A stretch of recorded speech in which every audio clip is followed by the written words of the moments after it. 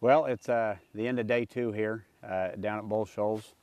A little bit tougher day today. You know, yesterday was a, a really awesome day for me. Had a great day. Today, uh, we didn't have the wind. We had nice, sunny, warm conditions, no wind, and uh, made for a lot tougher day.